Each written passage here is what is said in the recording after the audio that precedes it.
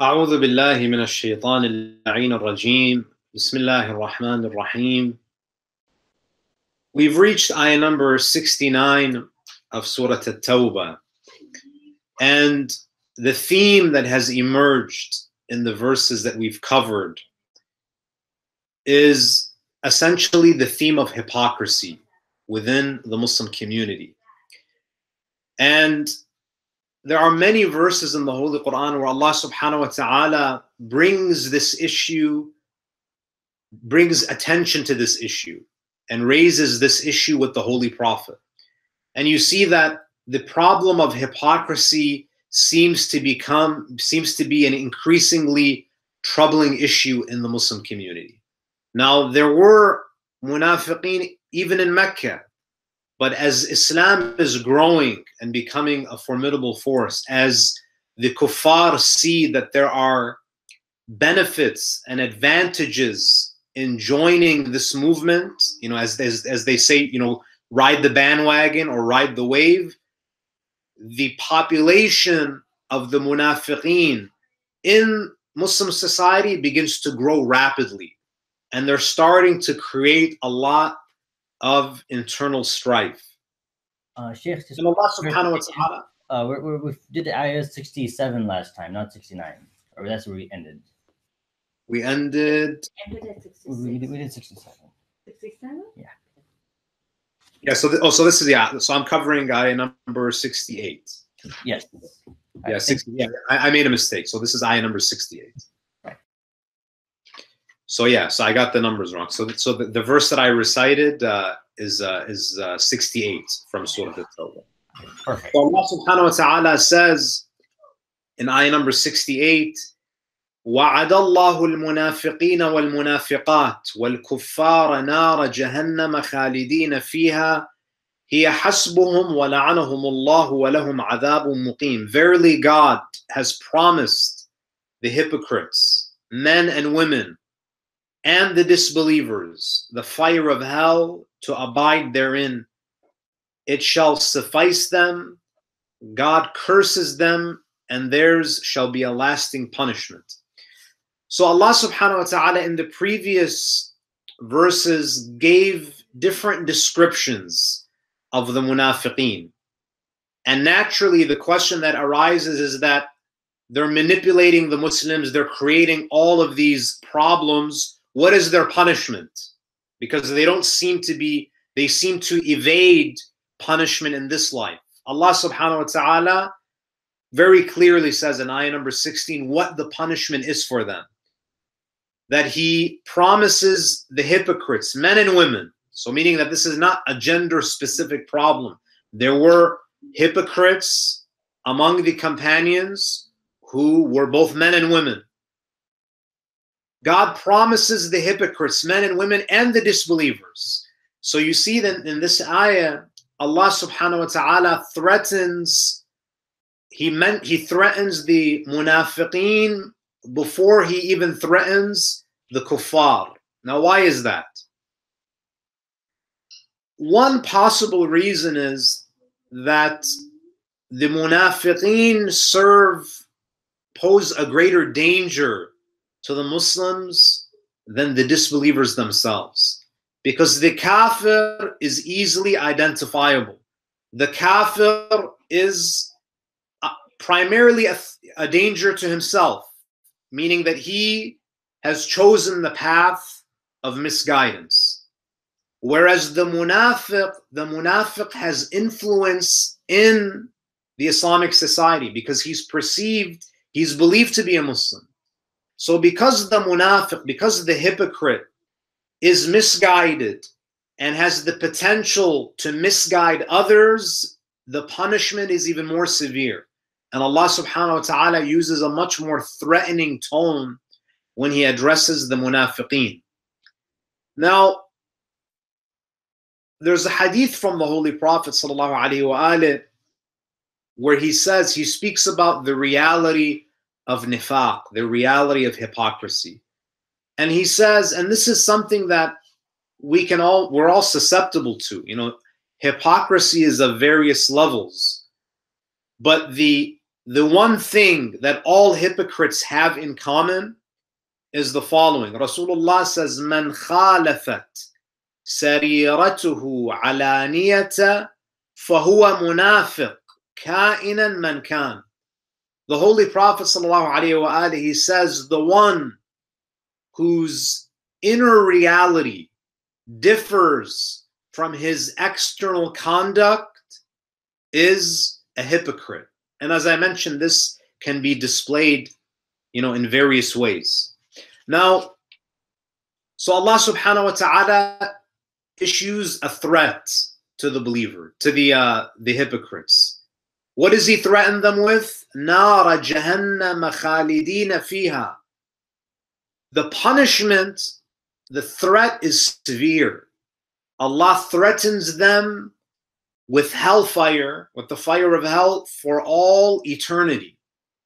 Now, as a reader, as a student of the Quran, you may think to yourself that that is a very, very unreasonable punishment. That's an extreme punishment for the crime. Allah subhanahu wa ta'ala says, Hiya hasbuhum. Hiya hasbuhum means that it is it is a suitable punishment for them. So before you can before you even ask the question, you know, why is the punishment so severe? Isn't that an extreme punishment? Allah says, no, it's a suitable punishment, meaning the punishment fits the crime.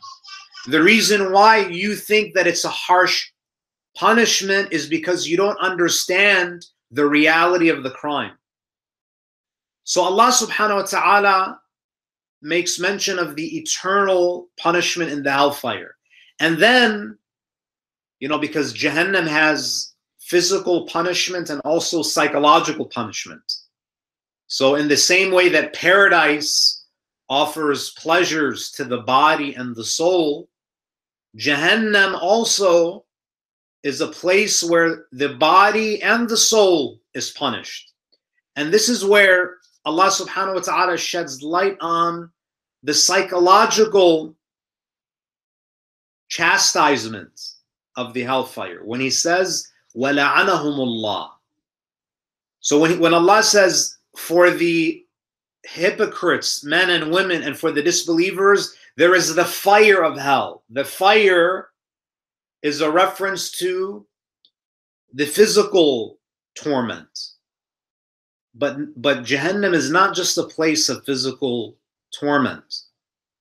You know, someone might be suffering physically, but it's possible for them to be at peace you know, Imam al Hussein, salam, for example, on the day of Ashura, he was physically suffering, but his soul was at peace. In Jahannam, the body and the soul suffer. And this is why Allah says, for the munafiqeen, men and women, and for the kuffar, for them is Nara Jahannam, the hellfire, for all of eternity. And it's a suitable punishment for them. The punishment fits the crime. Hiya hasbuhum وَلَعَنَهُمُ اللَّهِ And God curses them. Now, the curse of God, the la'na of God, you know, when we do la'na, la'na is a dua where we ask Allah to remove His mercy from a certain individual or a certain community. وَلَعَنَهُمُ The curse of God refers to their being distanced from Allah subhanahu wa ta'ala. So not only are they going to be physically punished, what is even more severe than that is that they are cursed by God. They are recipients of this divine la'na, meaning that they are distanced from his special loving attention and mercy. And this is what Amir al-Mu'mineen Ali ibn Abi Talib alayhi salam alludes to in Dua Kumail, the dua that we recite, you know, every Thursday night, where the Imam alayhi salam at the beginning of the dua, he says, Fahabni ya ilahi wa sayyidi wa mawlaya wa rabbi sabartu ala adabik. The Imam alayhi salam, he's speaking to Allah subhanahu wa ta'ala and he's saying that if it's essentially the Imam is saying that I can tolerate the the adhab of Jahannam, the physical torment. But there's one thing that is intolerable, and that is what? فَكَيْفَ أَصْبِرُ عَلَى فِرَاقِكَ How can I tolerate being separate, separated from you? If I can endure the flames of Jahannam, if I can endure the physical chastisement, there is one thing that no one can endure, and that is what? Being, having Allah turn away from you. And this is the true punishment. This is the most painful punishment in Jahannam. The firaq, the to be separated from this special divine grace. Now, Allah subhanahu wa ta'ala in ayah number 69, He says, كَالَّذِينَ مِنْ قَبْلِكُمْ كانوا أشد منكم قوة وأكثر أموالا وأولادا فاستمتعوا بخلاقهم فاستمتعتم بخلاقكم كما استمتع الذين من قبلكم بخلاقهم وخضتم كالذي خاضوا أولئك حبط حبطت أعمالهم في الدنيا والآخرة وأولئك Allah subhanahu wa ta'ala, He says, Remember those who were before you. They were mightier than you in power and greater in wealth and children. So they enjoyed their share and you enjoyed your share, just as those before you enjoyed their share and you have engaged in vain talk and they and as they engaged in vain talk it is they whose deeds come to nothing in this world and verily they are among the losers. Now, it's interesting that when Allah subhanahu wa ta'ala threatens them, there is an attempt by Allah subhanahu wa ta'ala to awaken their conscience. And this is really the, the epitome of divine mercy because Allah subhanahu wa ta'ala, being the most merciful and the compassionate, Allah subhanahu wa ta'ala wants, He desires that the munafiqeen repent. So what does he do? Allah subhanahu wa ta'ala tells them that, you know, you think that you're manipulating the Prophet, you think that you're outsmarting him, you think that you're powerful, that you're mighty. There were those before you who had more power than you. You know, because the ultimate plan of the kuffar is what? To do what? To wage an internal war on the Prophet to stagnate his movement, to destroy his, his work from within. Allah subhanahu wa ta'ala is telling these munafiqeen in Arabia that there were people before you who tried to do that with previous prophets And they were more powerful than you. Was, was Namrud not more powerful? Was Fir'aun not more powerful than you? And they failed to destroy the legacy of Musa. They failed to destroy the legacy of Ibrahim. كالذين من قبلكم كانوا أشد منكم قوة وأكثر أموالا وأولادا. Those who came before you were mightier than you in power and greater in wealth and children. They had more military might. They had more wealth at their disposal than the uh, the Quraysh.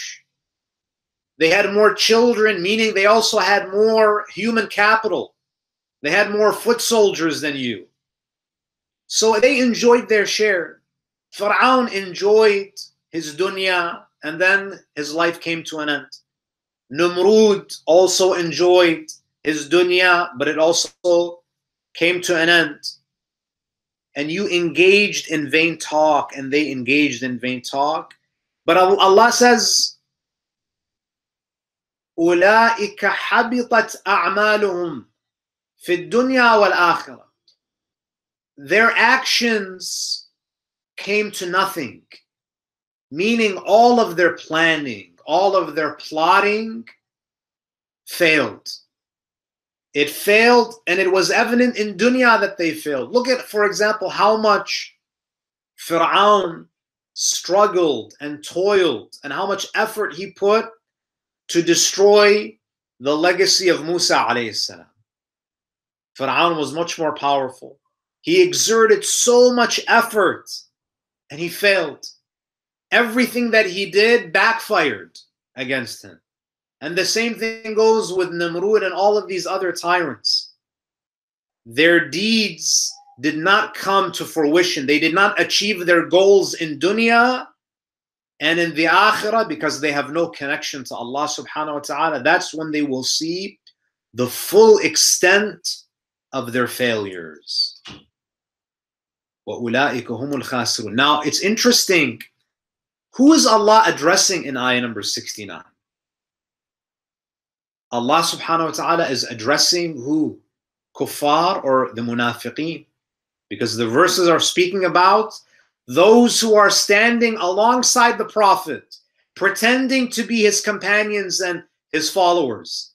Allah subhanahu wa ta'ala is telling them that you think that you're intelligent, you think that you are conniving, you think that you're going to destroy this religious movement from within. There are those who tried many different tactics before you.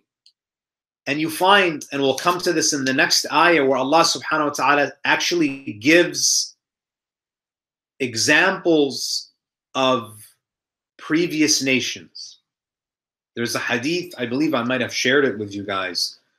And the hadith is mentioned in, in prominent Sunni references, hadith references, where the Prophet ﷺ, he says to his companions, لتتبعن سنن الذين من قبلكم شبرا بشبر وذراعا بذراع حتى لو دخلوا جحر ضب لاتبعتموهم. The Prophet says that you shall follow the practices of the the religious communities before you exactly step by step meaning that you will replicate the practices of those who came before you, shibran bishibr wa dhira'an bidhra' even to the extent that if the past nations were to have gone into a lizard hole, you were going to do the exact same thing.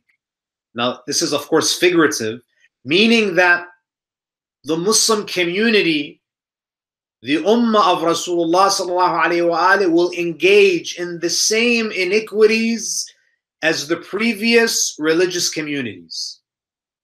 What what what the what Bani Israel did to its own prophets, the Muslims will do to their divinely chosen guides. Now, question What did Bani Israel do to the prophets that were sent to them? The answer is very simple. Allah subhanahu wa ta'ala in the Quran, number one, He tells us that many of the, the rabbis, many of the religious folk in the Jewish community, they distorted the Torah. They distorted the religious tradition of Musa. يحرفون الكلمة they they distort religious scripture. If the Quran tells us that religious communities of the past adulterated their religious teachings based on the hadith that I shared with you, where the Prophet tells his companions that you are going to do exactly what those before you did. The answer is what? That the Prophet is prophesizing that the Muslim Ummah will also distort his teachings. Number two, Bani Israel, what did they do to their prophets? What did they do to the messengers in the past? They killed them. يقتلون النبيين بغير حق. They kill the messengers unjustly.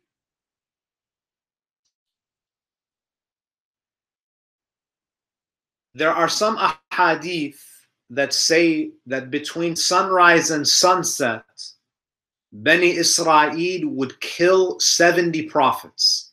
Now, the word 70 doesn't necessarily mean literally, but it definitely does mean that between sunrise and sunset in one day, there were occasions where the children of Israel would massacre at least a few prophets. In one day, they would kill a number of prophets.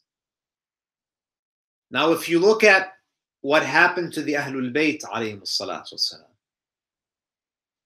isn't it? Can we not accurately say that the Muslims committed the same crimes against the Ahlul Bayt as Bani Israel did against their own prophets? So Bani Israel had this, they would commit the crime of slaughtering prophets. They would murder prophets generation after generation. In the Islamic Ummah, Fatima Zahra martyred. By who? By those who call themselves the companions. Imam Amir al-Mu'mineen. Who was he murdered by? People who claim to be what? Muslims. Imam al-Hassan, Imam al-Hussein, all of the Imams. Imam after Imam is either poisoned or killed by the sword. In two centuries, the Muslim Ummah kills how many ma'sumin? They kill 13 ma'sumin. 13 ma'sumin. So you see, this is the reason why Allah subhanahu wa ta'ala makes mention of Bani Israel so frequently in the Quran. It's as though Allah Azza wa Jal is telling the Muslims, do not do to Muhammad and his immaculate family what Bani Israel did to Musa and the prophets that came after him, or what Bani Israel did to the prophets who came after Yusuf alayhi salam. And then Allah subhanahu wa ta'ala, He says in ayah number 70, أَلَمْ يَأْتِهِمْ نبأ الذين من قبلهم قوم نوح وعاد وثمود وقوم إبراهيم وأصحاب مديم والمؤتفكات.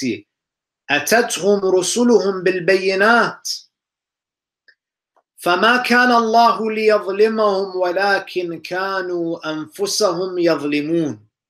Has not the account come to them of those who were before them? The people of Noah, Ad, and Thamud, and the people of Ibrahim, and the inhabitants of Madian, and the overthrown cities. Allah did not wrong them, but rather they wronged themselves. You know, brothers and sisters, sometimes when we study history, we study, you know, ancient Babylon, we study the Greeks, we study the Romans as Muslims, we cannot always attribute the decline of these powerful civil civilizations to, you know, you know, mismanagement of the economy or internal warfare or invasion. We can't look at history through a materialistic lens.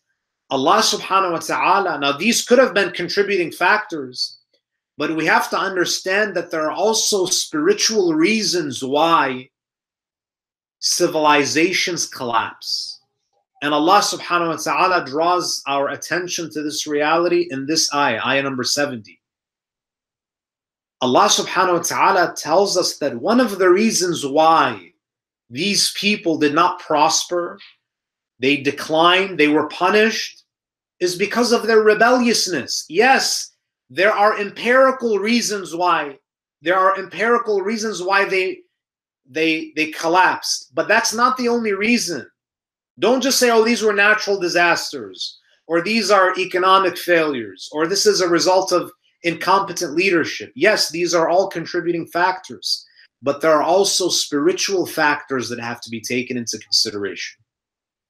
So Allah is warning these munafiqeen that don't you study history? Don't didn't don't you see what happened to those who came before you, who rebelled against their prophets, who sinned persistently, who turned a blind eye to the truth, who refused to even objectively consider what was being presented by the messengers. And Allah says, أَتَتْهُمْ رُسُلُهُمْ بِالْبَيِّنَاتِ that there was no ambiguity, there was no there was no room for them to have doubt. when Allah sends prophets, He sends them with bayinat, meaning that they gave undeniable evidence, clear proofs. You know, sometimes people today, you know, they might turn away from Islam because they have legitimate doubts. Islam was not clearly explained to them. Those who taught them Islam perhaps didn't have a comprehensive and a clear understanding of Islamic teachings. But when Allah sends Ibrahim and Nuh and Isa and Yahya and all of these great individuals, they are not only are they wise, but they're eloquent. They're the best teachers. They're effective at conveying the divine message. So Allah says the evidence was very clear, the proofs were clear. So Allah mentions the people of Nuh. The people of Nuh. And again, Allah is speaking to who? He's speaking to the munafiqeen. One of the things that we learn from Nuh is what? That numbers don't matter. You know, the munafiqeen may think to themselves that, you know, there are many of us, and, you know, Muhammad only has a few sincere followers. Everyone else has joined because of worldly interests. But Nuh alayhi salam, in the story of Nuh, only 80 achieved salvation. That doesn't matter. Even if the Holy Prophet has only a small number of followers. That Numbers don't matter when we're speaking about the truth. Ad and Thamud are mentioned. These are very powerful pre Islamic civilizations. These are the ancient Arabs. Ad and Thamud. They were very powerful, they were very technologically advanced. Again, Allah is reminding the munafiqeen that there are these are examples of nations that were more powerful and they were destroyed. They failed. They were not able to silence and extinguish the light of Hud and Salih. And then Allah mentions the people of Madian. The people of Madian, who did Allah send to them? Shu'aib. And they were punished for what? Their unethical business practices. So again, it's almost as though Allah subhanahu wa ta'ala, you know, they cared more about their dunya than their akhirah. They had this greed. And again, when you study Islamic history, you see that this hubbud dunya makes people compromise their religious values. And we see this especially after the death of the Prophet. وَالْمُؤْتَفِكَاتِ The overthrown cities, a reference to the community of Lut. so Allah subhanahu wa ta'ala shares these specific examples to remind these munafiqeen that there were those who were much more powerful than you in the past who tried to derail the prophets and they failed in dunya and their ultimate failure will be in the akhirah.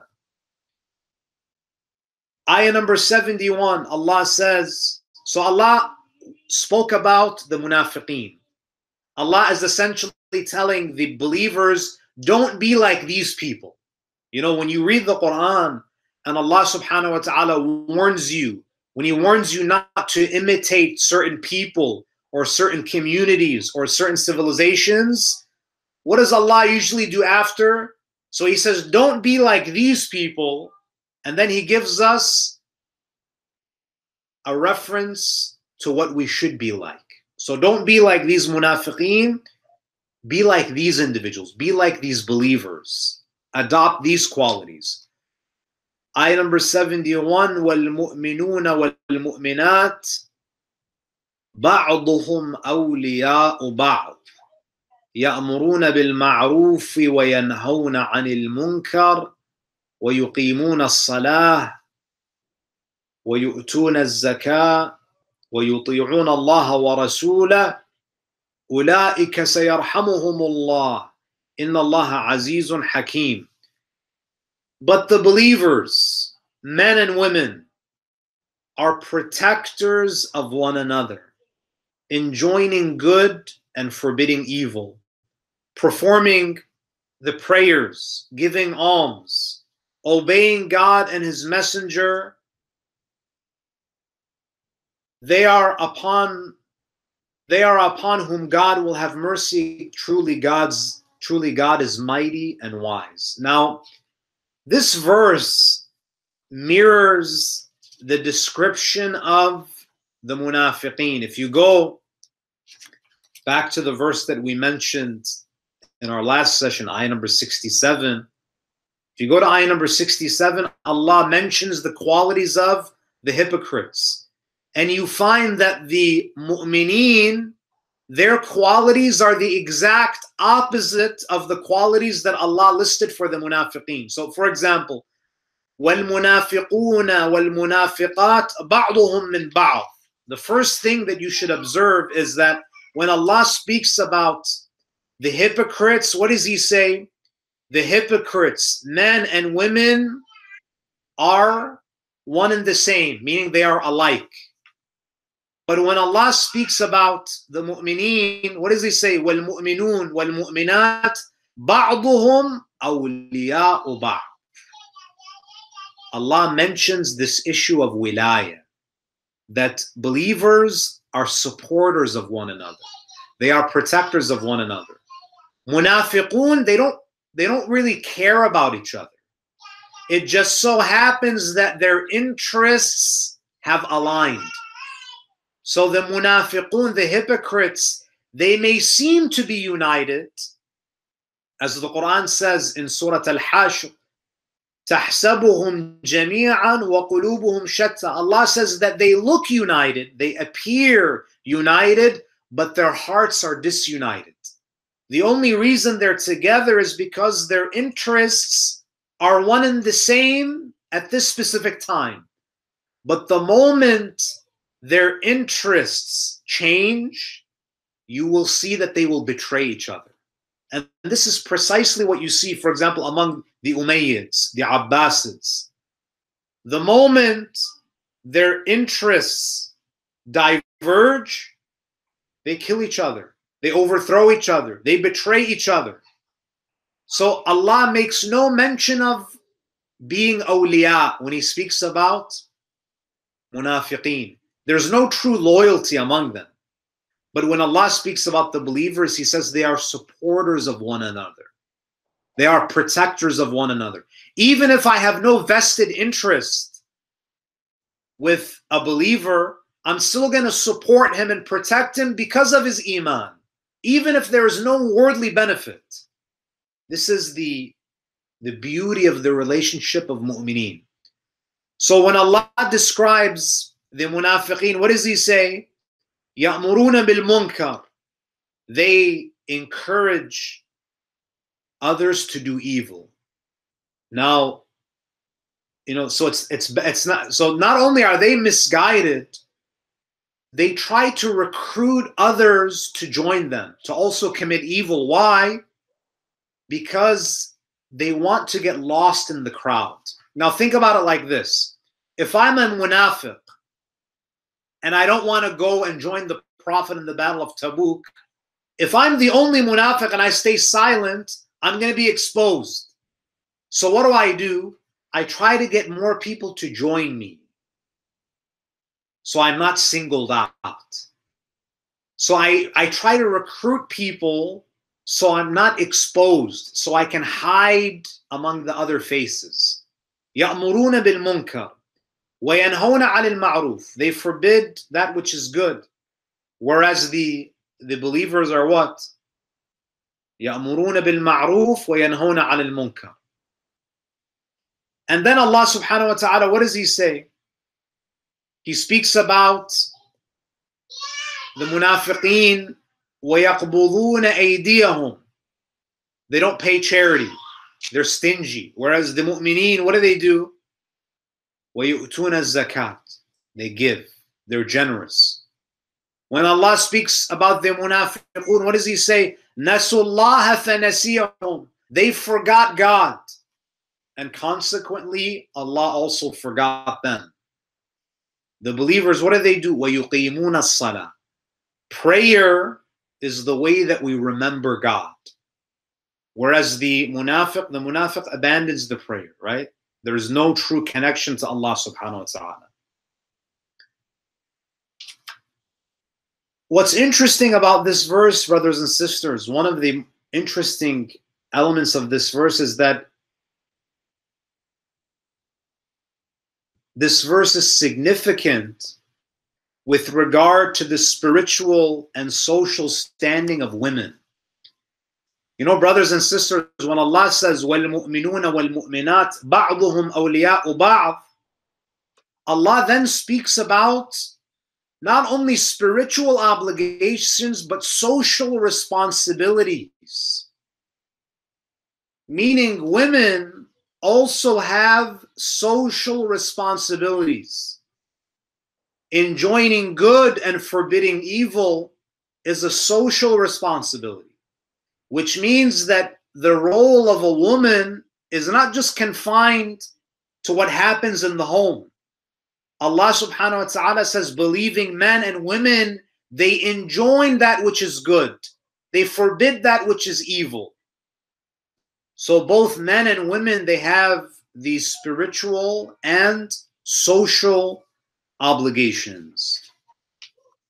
And and if you look at uh, Surah Al-Ahzab, Surah 33, ayah number 35, Allah subhanahu wa ta'ala goes into elaborate detail where he speaks about you know different virtues that are that are displayed by both men and women. There is not a single virtue that uh, that men are more inclined to have than women patience, piety, you know, modesty, all of these qualities can be manifested in both men and women. There's no spiritual disadvantage because of your gender. And then Allah in ayah number 72. So Allah, so, so look at the, the flow of the verses. Allah described the munafiqeen and then he threatens them with punishment Allah then describes the believers and then he speaks about the reward that is that he has prepared for them. Now, I want you to look at this verse from the context through the, the lens through the context of Tabuk. So if you recall, the Prophet ﷺ is inviting his the believers to join him in Tabuk. Many of them, you know, so they live in Medina, you know, a very rich agricultural area in Arabia. They have their farms, their orchards, their homes, and they're going towards Tabuk, which is a desolate land, a desert, where there's limited water. They're leaving their homes behind. They're leaving their gardens and you know all of the things that that are comfortable for them. Look at what Allah says. وَعَدَ اللَّهُ الْمُؤْمِنِينَ وَالْمُؤْمِنَاتِ God has promised the believing men and the believing women. So even the believing women are rewarded for their sacrifice because their husbands have to leave and they have to be able to look after the household and run the affairs of the household in the absence of their husbands who are at war. Allah subhanahu wa ta'ala makes it a point to mention that both of them have a separate type of jihad. And Allah will reward both of them in the same way. So imagine there is a companion of the Prophet who joins the Prophet and goes to Tabuk. And this companion, of course, the women are not going to go fight in the battlefields, they stay behind. You know, they look after the children, they look after the household, they look after the affairs of the household in the absence of the husband the reward for both of them is equal. وعد الله المؤمنين والمؤمنات جنات تجري من تحتها الانهار خالدين فيها ومساكن طيبه في جنات عدن ورضوان من الله اكبر ذلك هو الفوز العظيم Allah says God has promised the believing men and the believing women. Gardens with rivers running below to live eternally and goodly dwellings in the gardens of Eden. But contentment from God is greater. That is the great triumph.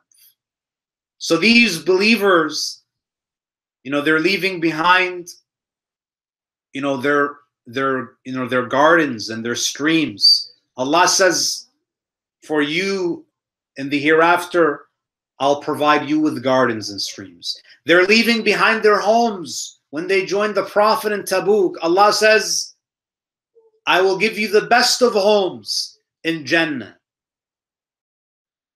But above all of that so Allah subhanahu wa ta'ala first speaks about the material blessings of paradise. And after speaking about the gardens and the rivers and the, the pleasant dwellings, what does he say? وَرِضْوَانٌ مِّنَ اللَّهِ أَكْبَرُ But the contentment, the pleasure of God is greater than all of that. There's a hadith that I'd like to share with you and it's a hadith where it's a hadith Qudsi, where Allah subhanahu wa ta'ala addresses the people of paradise. So when when all of the mu'mineen enter Jannah and they're given their palaces and you know they're given all of the blessings that they were promised.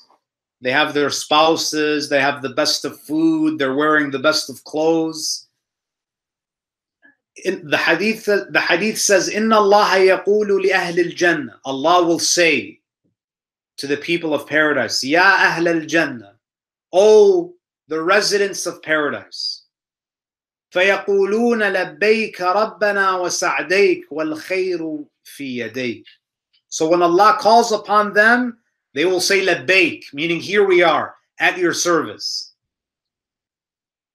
allah will ask them هل رضيتم? Allah will ask the mu'mineen, Are you pleased? Are you happy? فيقولون وما لنا لا نرضى يا رب وقد أعطيتنا ما لم تعط أحدا من خلقك They say, Oh Allah, how could we not be pleased when you have given us something that you have not given to any of your other creations?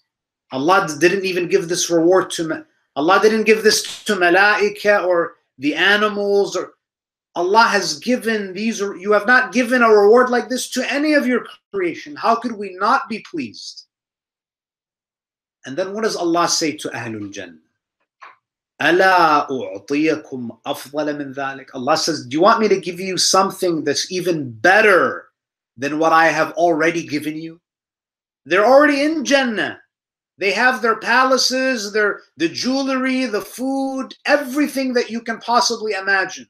Allah says, "Do you want me to give you something else that's even better than all of this?" So they ask, "Ya Rab, وَأَيُّ شَيْءٍ أَفْضَلُ مِنْ ذَلِكَ What could be greater than what you have already given us?"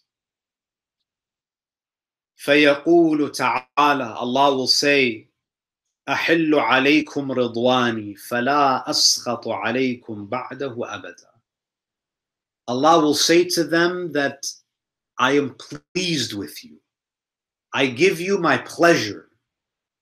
When Allah, the hadith says, when Allah says to Ahlul Jannah, Ya ibadi laqad raditu ankum. When Allah says to the inhabitants of paradise that I am pleased with you, the hadith says they will experience a pleasure and a joy that is incomparable to all of the other delights of paradise.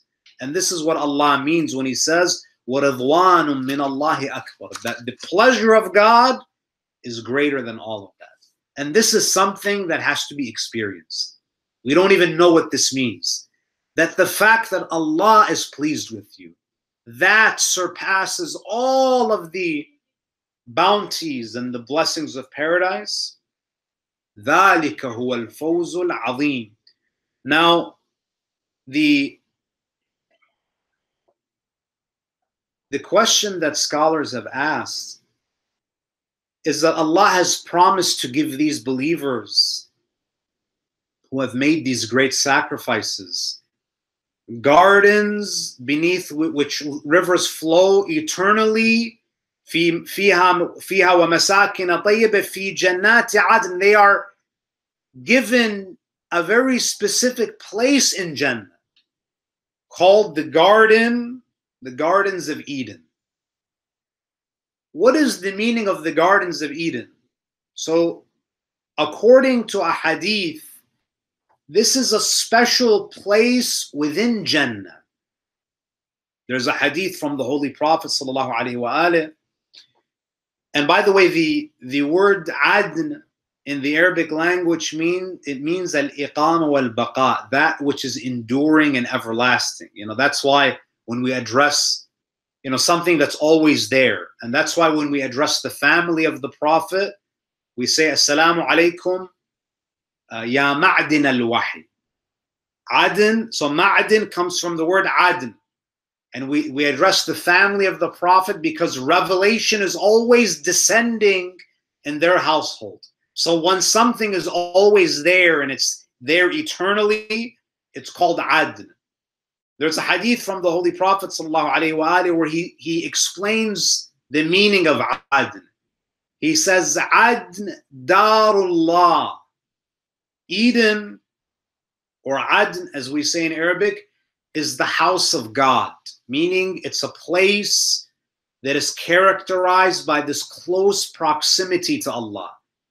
In the same way that we call the Kaaba Baytullah, this place is in paradise is a very it's a VIP location in paradise, a place that enjoys this unique proximity to Allah. لم تر لم ترها عين ولم يخطر على قلب بشر It's a place in Jannah that no eye has ever seen and no mind can even comprehend. So there are people even in Jannah who have seen things that are astonishing. Even some people in paradise will not be able to see that area of paradise and no one will live there. لا يسكن لا يسكنها غير ثلاثة. Only three individuals, only three groups of people will reside in the gardens of Eden, according to the hadith. And Nabiyin, the prophets, Siddiqeen, the truthful ones. Siddiqeen, again, this is a reference to Ma'sumin. And the third is Washuhada, the martyrs the, the martyrs, these are the three classes of people who will reside in Jannat al-Adn, the gardens of Eden. I think we'll uh, we'll stop here for today. Verses 73 onward require a bit more detail. وصلى الله على سيدنا ونبينا محمد وعلى أهل بيته الطيبين الطاهرين if there are any questions or comments. Uh, so the question is about understanding um, what is meant by the pleasure of Allah and withdrawing the mercy of Allah. Uh, can you hear me clearly? So, so what is meant by the pleasure of Allah and, and what? And the withdrawing of Allah's mercy uh, for the people who are in hell. Uh, so, so you're referring to the part of the ayah where, so you're referring to ayah number 69 where Allah speaks about one of the punishments of the, the munafiqeen and the kuffar where Allah says, وَلَعَنَهُمُ that He distances uh, his mercy from them. Right. I'm hoping you might be able to elaborate a little bit more on what those things meant. Now, when we when the ayah says "wala'anahumullah," that God curses them, as I mentioned, la'na is basically God distancing Himself from uh, from the kuffar or the munafiqeen. Now, of course, we're not talking about you know spatial distance because Allah is with, He's closer to uh, to the created beings, even closer than they are to Himself. So when Allah says He distances Himself from them, meaning that He deprives them of His special mercy, and I, I use the word special mercy intentionally because even the people in Jahannam still at some level enjoy Allah's mercy. There is no such thing as a creation that is totally devoid of Allah's rahmah. It's impossible. Because anything that exists by virtue of its existence enjoys a certain degree of Allah's rahmah. That's why in Dua Kumail, the dua begins by saying what? Allahumma inni as'aluka birahmatika allati wasi'at kulla shay. Allah's rahma, specifically His rahmaniyya. When we say Bismillah, Ar-Rahman, Ar-Rahim, that first name of God, Ar-Rahman, is that all-encompassing mercy. Even Iblis, even Fir'aun, those who are in the depths of the hellfire, they are always going to experience Allah's Rahmaniyah because they exist. And existence is one of the manifestations of Allah's Rahmah. But relative to paradise and, and, and the bounties of paradise, that is the most extreme punishment. So, for example, if, if someone, you know, someone who's living in a palace and has all of their needs met, if you see someone, you know, sitting under the sun with cloud, drinking a cup of cloudy water, from your vantage point, that person is is in misery. But that person who's sitting under the sun and is drinking that cloudy water is still enjoying some degree of of Allah subhanahu wa ta'ala's mercy by virtue of, of his existence. So it's it's all relative. So even in Jahannam, Jahannam should never be interpreted as a place where there is zero rahmah. It's a place of punishment, of divine wrath. There is no doubt about that. But to say that Jahannam is a place where there is absolutely no rahmah, there's if Allah removed his entire rahmah, the people in Jahannam wouldn't exist. They wouldn't exist. Now, it's very difficult for us to conceptualize these things because we're talking about a world that is governed by totally different laws than that than the that govern this this earthly life. But when Allah says He has distanced Himself from them, they still enjoy some degree of divine mercy. Did I did I answer the question or did I not understand your question? Uh, well, I think um, the you kind of summarized the challenge at the end really well. That uh, it's it's a very different world, so it makes it very hard to understand exactly what is going to be experienced at that time. And and, and one thing that I, that I would say is that, you know, people often ask, you know, why doesn't Allah subhanahu wa ta'ala just destroy them? Why is it that they, they have to exist eternally and suffer eternally? You know, for some people, they have they have difficulty reconciling that with uh, with His mercy. But Allah Subhanahu wa Taala is wise. You know, you you and I don't get to decide whether we exist or not. In the same way, your shoe didn't decide to be on your foot. Did your shoe decide to did your did your uh, foot uh, your shoe decide to be on your foot? It didn't. Why is it on your foot? Because that's what it means to be the owner. You do as you please. And Allah subhanahu wa ta'ala does as He pleases, and everything that He does has wisdom. So there is wisdom behind Allah subhanahu wa ta'ala keeping kuffar and munafiqeen in Jahannam eternally. There has to be some hikmah behind it. You know, you may you may think that it's it's better to just annihilate them, let punish them for a million years, and then exterminate them so they don't exist anymore. But Allah says, "Khalidina fiha." They're there eternally. So we don't we don't get to decide. You know, you know, because people even ask. I was having a conversation earlier this week and someone asked that Sheikh, you know, life is miserable. I, I never, Allah never asked me, asked to create me. I never chose. I, I didn't choose to be born. Allah subhanahu wa ta'ala forced me into this life. Yes, Allah forced you. You don't have a choice. You don't have a choice. In the same way, your shirt and your shoes don't have choices because that that's the meaning of being an owner. Allah, Allah is the owner. He owns every particle in the universe. You don't get to, he doesn't have to ask you. you he owns you. But he's merciful, he's kind. He has given you the opportunity to earn eternal life just if you pass a very short exam. And he's given you so many, so many, he has made the exam easy for you if you follow his guidance. And even if you make mistakes, he'll forgive you. You know, it's kind of like a, a teacher that says that I'll, I'll give you this incredible reward if you pass this exam.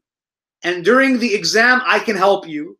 And even if you make mistakes on the exam, apologize and I'll I'll correct the, the mistakes.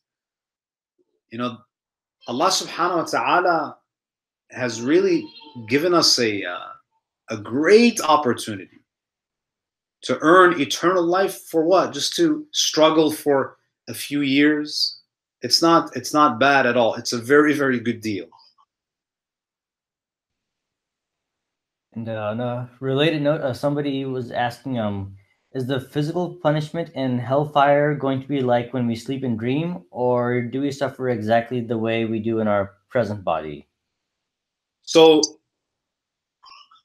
we believe that that the hereafter whether we're talking about paradise or hellfire, is both a bodily and a, uh, a spiritual experience. See, you know, in your dreams, when you suffer, there's no physical suffering.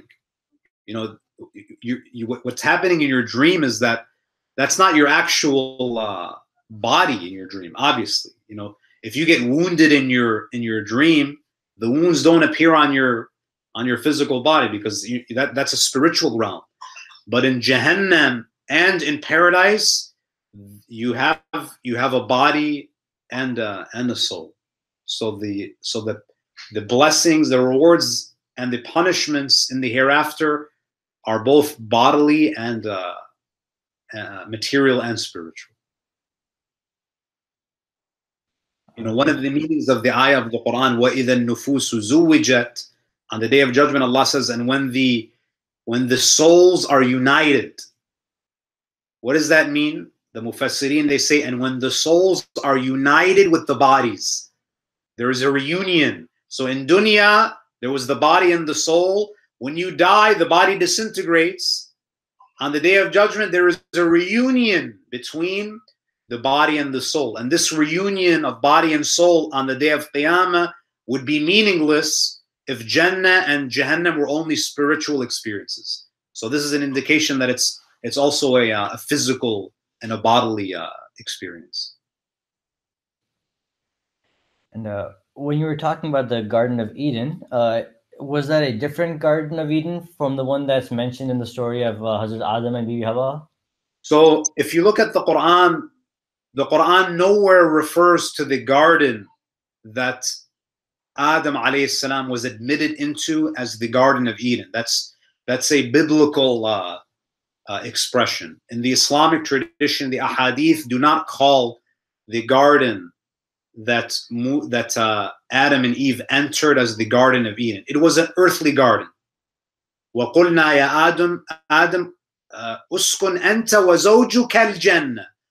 Allah doesn't call the garden that Adam and Eve dwelled in uh, the Garden of Eden. It was a garden, and according to the traditions of the Ahlul Bayt and according to the uh, the Mufassirin of the Quran, this was either an earthly garden or it was a garden in another dimension.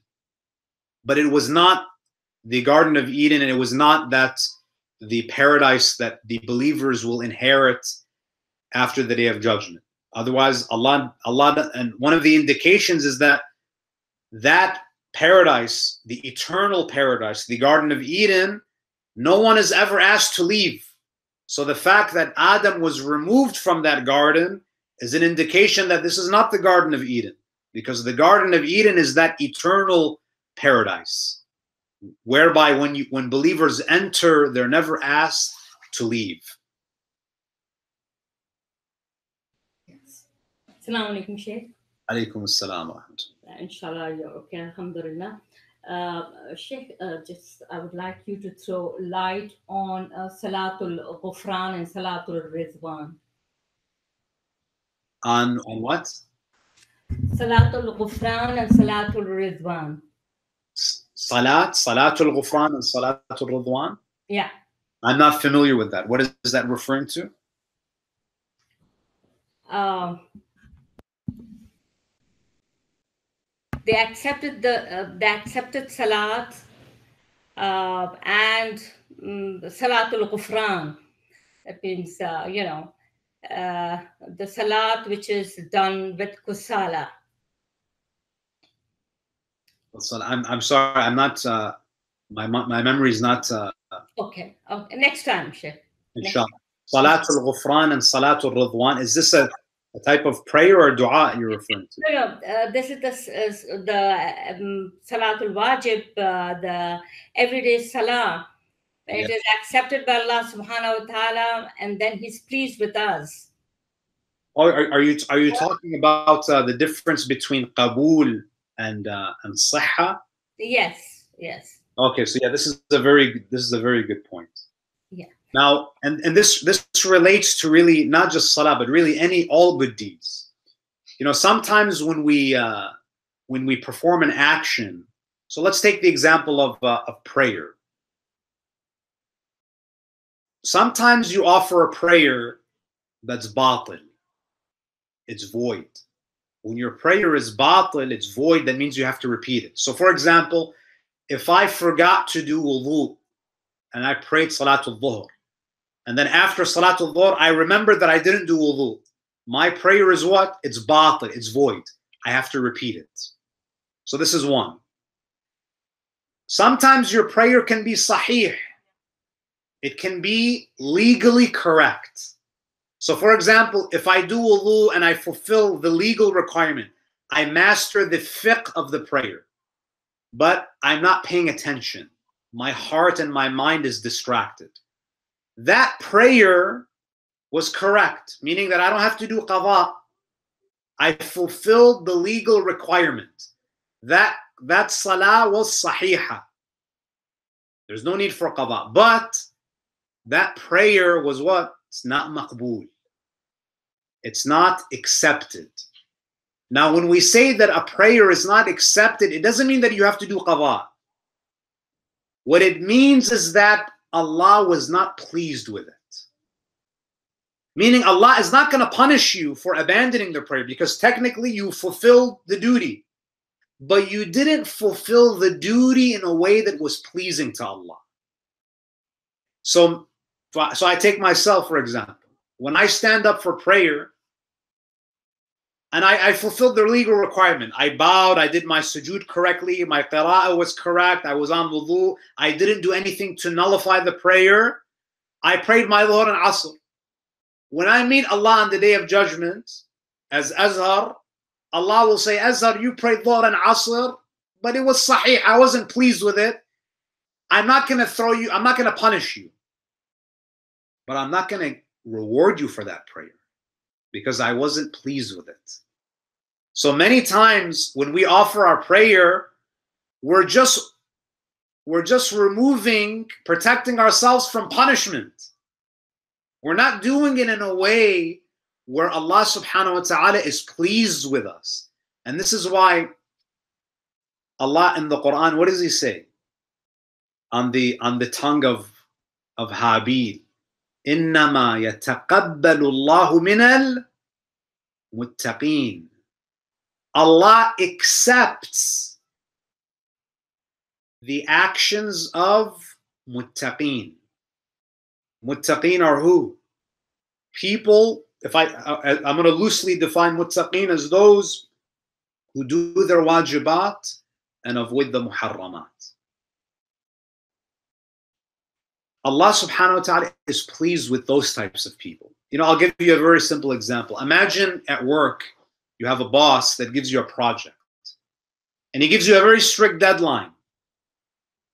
And he says, This project has to be completed on Friday. And you don't do it, you miss the deadline. And on Saturday, you throw this huge party for your boss at your house. Is that party really going to mean a lot to your boss after you didn't submit the project on the on the mentioned deadline? It's not going to be even if you throw the most lavish party, it's really not going to mean that much. But if you meet the deadline on Friday and the next morning or Monday you offer a cup of coffee to your boss. Your boss is going to be very pleased. That cup of coffee is would is is going is greater is going to be more appreciated than a lavish party that you throw for him after you miss the deadline. This is why when Imam al-Baqir and Imam al-Sadiq they were in Hajj together, Imam al-Sadiq was young and he was doing tawaf and he was doing all of these mustahab tawafs.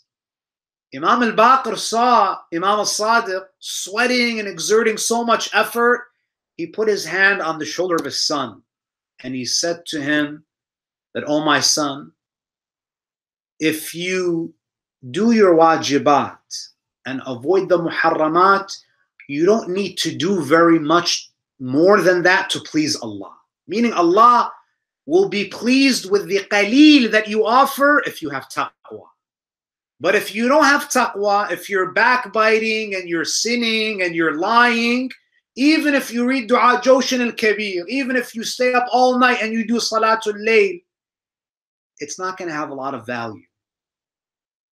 But if but if you do your wajibat and you avoid the muharramat, and and one day, one you read one short dua per day, and you don't do anything beyond the wajibat, Allah is going to be very pleased with you. That's going to be maqbool. Because you're worshiping Allah in the way that He wants to be worshipped. Avoid the sin and do your obligation. The problem with you and I is what? We commit sin and we try to compensate by doing what? By doing all of these extra things. It would be better for us to just avoid the sins. That's why Amir al-Mu'mineen, he says, اجتناب السيئات أولى من اكتساب الحسنات. Imam Ali ibn Abi Talib alayhi salam, he says, refraining from sin is better than doing good deeds. It's better than doing those extra good deeds.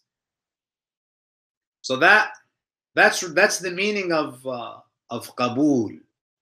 And we have to really ask ourselves when I offer my prayer, is it just correct From a legal perspective or is it accepted by God, meaning that Allah was pleased with it?